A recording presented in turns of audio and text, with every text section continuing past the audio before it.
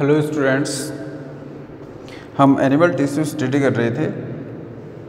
Previous videos में हमने इसके epithelial tissue connective tissue and muscular tissue को ब्रीफली स्टडी कर लिया था। तो आज के इस वीडियो में हम स्टडी करेंगे nervous tissues nervous tissues special type के टिश्यूज होते हैं जो कि हमारी बॉडी में कंट्रोल एंड कोऑर्डिनेशन के लिए रेस्पॉन्सिबल होते हैं। हमारी बॉडी में किसी ऑर्गन को, किसी अनादर ऑर्गन के साथ में कोऑर्डिनेट करवाते हैं। इसके अलावा किसी ऑर्गन को एटमॉस्फेयर के साथ में कोऑर्डिनेट करवाते हैं। और ये हमारी बॉडी में जो एंडोक्राइन ग्लैंड्स हैं, उनके साथ में मिलकर के लॉन्ग टाइम तक भी बॉडी को कंट्रोल करते हैं। तो आइए स्टडी करते हैं इसकी general properties it is a compound tissue कैसे हैं, ये कंपाउंड टिश्यू हैं तो जहाँ पर कंपाउंड टिश्यू आ गया इसका मतलब है कि ये डिफरेंट टाइप ऑफ़ सेल्स से मिलकर के बने होते हैं। It is a compound tissue and is formed of four type of cells तो फोर टाइप की सेल्स से मिलकर के बने होते हैं out of which neurons are most important type of cells तो उसमें मेन जो सेल्स होती है, वो न्यूरॉन होती है। और न्यूरॉन ही वो सेल होती है जो इम्पल्स को कंडक्ट करती है उनका ट्रांसपोर्टेशन करती है। आ, किसी ऑर्गन से लेकर के हमारे सेंट्रल नर्वस सिस्टम यानी कि ब्रेन और स्पाइनल कोड तक सप्लाई करने का काम करती है और वहाँ से जो भी मैसेज आते हैं उनको वापस टारगेट ऑर्गन तक सप्लाई करने का काम करती है। It forms brain spinal cord and nerves हम कह सकते हैं कि हमारा ब्रेन नर्व टिश्यूज़ का बना हुआ एक कॉम्प्लिकेटेड स्ट्रक्चर होता है। हमारा स्पाइनल कोड नर्व टिश्यूज़ का बना होता है। हमारी जो नर्व्स होती है, जो ब्रेन और स्पाइनल कोड से निकलती है, वो भी नर्व टिश्यूज़ का ही पार्ट होती है। These have the power of excitation and conduction of nerve impulse. तो ये जो नर्वस टिश्यूज हैं इनके पास में एक्साइटेशन का या जो नर्व इम्पल्स होते हैं उनका कंडक्शन का पावर होता है। आ, किस तरह से ये आ, करते हैं उसको हम अभी डायग्राम के थ्रू स्टडी करेंगे। तो कंपोजिशन देखते हैं जैसा कि हम ऊपर स्टडी कर चुके हैं कि ये डिफरेंट टाइप ऑफ़ सेल्स से मिलकर के बना होता है। तो फोर टाइप ऑफ़ सेल्स कौन कौन सी हैं इसकी फ़र्स्ट आती है इसकी इम्पोर्टेंट सेल्स न्यूरॉन्स से, और हम इसको नर्व सेल भी बोल सकते हैं। तो न्यूरॉन हमने सेल बायोलॉजी में भी पढ़ा था कि न्यूरॉन्स लॉन्गेस्ट सेल्स होती हैं, सबसे लंबी सेल होती है, जिसकी लेंथ है 90 सेंटीमीटर टू वन मीटर तक हो सकती है। ये जो नर्वस सिस्टम होता है, उसकी स्ट्रक्चर एंड फंक्शनल यूनिट होती है तो जो भी मैसेज आते हैं एटमोसफियर से मसल्स के थ्रू ये उनको रिसीव करती है और फिर सेंट्रल नर्वस सिस्टम तक सप्लाई करने का काम करती है। और सेंट्रल नर्वस सिस्टम से जो भी इंफॉर्मेशन आती है, उसको टारगेट ऑर्गन तक सप्लाई करने का काम करती है। तो neurons nervous cells neuron is the longest cell of body about one metre and is structural and functional unit of nervous system. It is the communication unit of a nervous system as it can uh, receive and conduct the nerve impulse to various part of the body. It is formed of two parts. तो ये जो है neurons होती है इसके दो part होते हैं तो दोनों पार्ट की हम डायग्राम के थ्रू स्टडी करेंगे और कैसे इसकी फंक्शनिंग होती है उसको भी हम स्टडी करेंगे। देखिए, ये हमारे पास में डायग्राम है एक नर्व सेल का। इसके, यहाँ पर एक पार्ट हम इसका देखें तो यह है इसका साइटोन जो कि स्टार सेप स्ट्रक्चर दिख रही है, इसको बोलते हैं हम साइटोन या सेल बॉडी यहाँ पर लेबलिंग की गई है इसकी सेल बॉडी इसको हम साइटोन भी बोल सकते हैं। और साइटोन आगे यानी कि यहाँ से अगर बीच में से देखें तो ये अपने पेरिफेरल रीजन में से ब्रांच्ड हो जाता है। तो ऐसे कुछ इस तरह की ब्रांचेज इसके अंदर निकली हुई रहती है। तो ये ब्रांचेज को हम कहते हैं डेंड्राइड्स डेंड्रोइड्स वो स्ट्रक्चर होती है जो कि डिफरेंट ऑर्गन से मैसेज को रिसीव करने का काम करते हैं। और बीच में यहाँ पर ये इसका साइटोप्लाज्म होता है न्यूक्लियस आपको डायग्राम में साफ़ दिख रखा है। तो वेल ऑब्ज़र्व न्यूक्लियस होता है न्यूक्लियस के चारों ओर साइटोप्लाज्म है। लेकिन इसके साइटोप्लाज्म को हम कहते हैं न्यूरोप्लाज्म इसका साइटोप्लाज्म कहलाता है न्यूरोप्लाज्म और इस न्यूरोप्लाज्म के अंदर कुछ ग्रेन्यूल्स होते हैं, जिनको हम नेशल ग्रेन्यूल्स बोल सकते हैं। और ये नेशल ग्रेन्यूल्स इनको एंडोप्लाज्मिक रेटिकुलम के समान माना गया है, क्योंकि ये नेशनल ग्रेन्यूल्स प्रोटीन सिंथेसिस का काम करते हैं। तो हम समझ सकते हैं कि इसमें बहुत सारे एंडोप्लाज्मिक रेटिकुलम या निश्चल ग्रेन्यूल्स प्रेजेंट होते हैं, जो प्रोटीन सिंथेसिस के लिए रेस्पॉन्सिबल होते हैं। अब ये जो साइटोन है या सेल बॉडी है, इस सेल बॉडी से एक डेंड्रॉइड्स ऐसा निकल, निकलता है जो कि बहुत लंबा होता है। तो हम इसको भी डेंड्रोइड्स मान सकते हैं। तो ये लंबा जो डेंड्रोइड है, हम इसको क्या कहेंगे? एक्जोन ये एक्जोन आगे, यानी कि दूसरी नर्व को या फिर जो सेंट्रल नर्वस सिस्टम है, वहाँ तक उस इम्पल्स को कैरी करने का काम करती है। देखिए, मैं बता देता हूँ आपको, यहाँ डेंड्रोइड्स ने इंफॉर्मेशन को रिसीव किया, यहाँ से मैसेज को रिसीव किया। सेल बॉडी में आने से पहले यहाँ पर कुछ स्पेशल फाइबर्स होते हैं, उनकी हेल्प से ये जो मैसेज है, वो एक इम्पल्स में कन्वर्ट हो जाता है और उस इम्पल्स को हम कहेंगे इलेक्ट्रिक इम्पल्स यानी कि एक इलेक्ट्रिक फॉर्म के अंदर ये मैसेज कन्वर्ट हो गया। अब ये इलेक्ट्रिक इम्पल्स एक्जोन से होता हुआ, यहाँ से एक्जोन से होता हुआ जाएगा। और एक्जोन भी फाइनल आगे चल कर के कुछ ब्रांच स्ट्रक्चर में कन्वर्ट हो जाती है, जिसको हम टर्मिनल एंड कहते हैं। यहाँ पर लेबलिंग की गई है इसका एक्जोन टर्मिनल तो यहाँ तेज़ी इसकी जो स्पीड है वो तेज़ी से है, ठीक है? तो यानी कि यहाँ से इम्पल्स इलेक्ट्रिक फॉर्म में आया तो बिजली के जैसी स्पीड है इसकी और ये यहाँ पर जो इसकी टर्मिनल पार्ट है इस टर्मिनल पार्ट के ऊपर कुछ वेसिकल्स प्रेजेंट होते हैं। इस, इसका जो टर्मिनल पार्ट है वो कुछ जगह से फूला हुआ है यहाँ पर कुछ इस तरह की स्ट्रक्चर है। यहाँ पर कुछ इस तरह की स्ट्रक्चर है। इनको हम बोलते हैं सिनेप्टिक वेसिकल्स इन सिनेप्टिक वेसिकल्स में कुछ स्पेशल केमिकल्स प्रेजेंट होते हैं। उन केमिकल्स को हम कहते हैं न्यूरो ट्रांसमीटर अब ये न्यूरो ट्रांसमीटर करते क्या हैं? देखिए, यहाँ पर मान लिया सेंट्रल नर्वस सिस्टम नहीं आया तो यहाँ पर कोई अनादर सेल या दूसरी न्यूरॉन हो सकती है। तो ये जो इम्पल्स आए हैं, इसके थ्रू जो इम्पल्स आया है, उस इम्पल्स को क्या करेगा? ये इस दूसरी नर्व को ट्रांसफ़र करेगा। तो यहाँ पर जो ट्रांसपोर्टेशन है, वो किस फॉर्म में होगा? वो केमिकल के फॉर्म में होगा। मीन्स यहाँ पर जो मैसेज आया, वो किस फॉर्म में आया इलेक्ट्रिक इम्पल्स के फॉर्म में आया लेकिन वो कन्वर्ट किसमें हो गया? केमिकल में। तो those substance which are found in synaptic vesicle of a neuron and they convert electric impulse into chemical impulse are called neurotransmitters.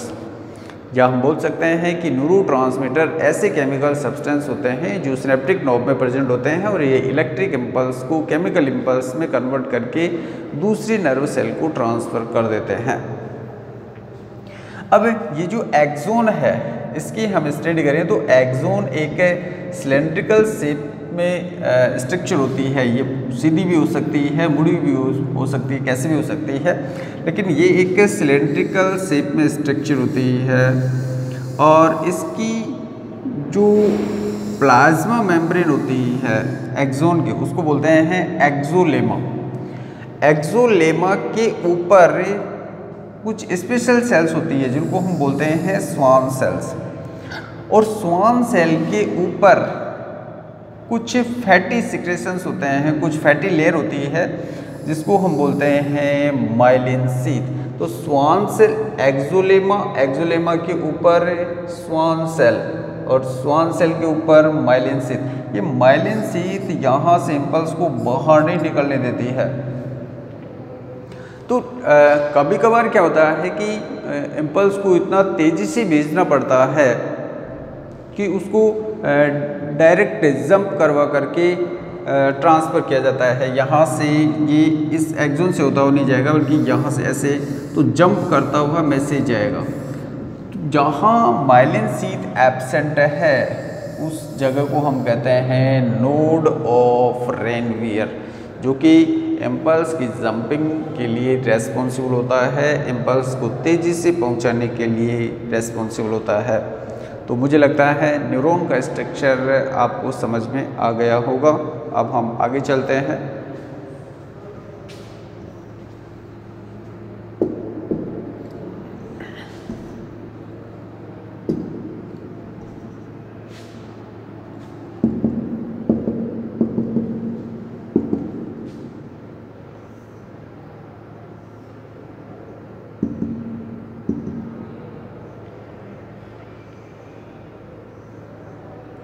तो इसका न्यूरॉन के पार्ट हैं पहला साइटोन है। Cell body it is nucleated part neuron whose granular cytoplasm is called neuro neuroplasm and has fine thread called neurofibrils पूरे conduction of nerve impulse nerve impulse neurofibrils के through conduct होता है। And R E R rich granule से, या Nissl granule से for protein synthesis तो मैंने बोला था कि जब जो निशल ग्रेन्यूल्स होते हैं, वो रफ एंडोप्लाज्मिक रेटिकुलम के जैसे होते हैं और प्रोटीन सिंथेसिस के लिए रेस्पॉन्सिबल होते हैं. तो फ़र्स्ट पार्ट हमने देखा साइटोन या सेल बॉडी ये न्यूरॉन का पार्ट है. सेकंड पार्ट है इसका nerve processes these are protoplasmic process arising from cyton and are two types तो प्रोटोप्लाज्मिक है। ये मान लिया यहाँ पर हमने देखा कि ये क्या है? ये साइटोन या सेल बॉडी है। तो सेल बॉडी से ही अरेंज या अराइज होने वाले, निकलने वाले इसके दो पार्ट होते हैं। तो यहाँ से एक पार्ट तो हो गया कौन सा? ये डेंड्रोइड्स हो गए। और दूसरा कौन सा हो गया? एक्जोन हो गया।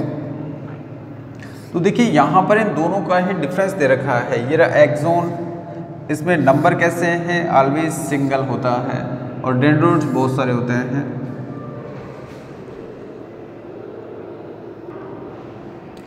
इसके अलावा देखो साइज़ देखिए long size cylindrical and may be not be branched तो ये ब्रांच नहीं होते हैं एक्सोन ने केवल सिलेंड्रिकल शेप में होते हैं जिन पे स्वान सेल और माइलिन से इतने उनके ऊपर होती है। Small size tapering and always branch ये जो डेंड्रोइड्स होते हैं डेंड्रोइड्स होते हैं, ये ब्रांच्ड होते हैं। फ़ंक्शन देखो these conduct nerve impulse away from cyton cyton से दूर ले जाएगा इम्पल्स को। यहाँ पर इलेक्ट्रिक इम्पल्स बनेगा इलेक्ट्रिक इम्पल्स से एक्जोन के टर्मिनल एंड की ओर जाएगा और वहाँ पर केमिकल इम्पल्स में न्यूरो के द्वारा कन्वर्ट हो जाएगा।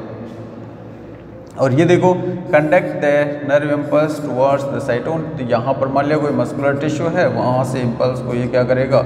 गेन करेगा और साइटोन को देगा। तो साइटोन में आने से पहले ये जो फाइब्रिल्स होते हैं न्यूरो फाइब्रिल्स उनकी हेल्प से ये केमिकल वो सॉरी इलेक्ट्रिक इम्पल्स में कन्वर्ट हो जाते हैं। अब यहाँ पर देखिए हमने इसकी फ़र्स्ट सेल है, उसको स्टडी कर लिया है और वो है न्यूरॉन न्यूरॉन के बारे में मैं एक चीज़ और बता दूँ आपको कि ये दो टाइप की होती है न्यूरॉन से एक तो होती है बेटा सेंसरी नर्व एक तो होती है सेंसरी नर्व और एक होती है मोटर नर्व सेंसरी नर्व क्या करती है? किसी ऑर्गन से इम्पल्स को रिसीव करेगी और रिसीव करके उसको देगी सेंट्रल नर्वस सिस्टम तक. हम बोल सकते हैं ये ब्रेन या फिर स्पाइनल कॉर्ड की ओर चलती है. वैसे इसको ऑर्गन से ऑर्गन से ब्रेन की ओर देगी. और दूसरी होती है मोटर नर्व ये मोटर नर्व क्या करती है? ब्रेन जो भी डिसीज़न लेता है, किसी मैसेज के अगेंस्ट जो भी डिसीज़न लेता है, उस डिसीज़न से बनी हुई इंफॉर्मेशन को ये मोटर नर्व ब्रेन या स्पाइनल कोड से कलेक्ट करेगी और वहाँ से जो भी टारगेट ऑर्गन है, उस टारगेट ऑर्गन तक उसको सप्लाई करने का काम करेगी। तो दो टाइप की nerve sensory nerve and motor nerve sensory nerve organ to central nervous system and motor nerve central nervous system to target organ अब दूसरी हमारे पास में जो सेल आती है,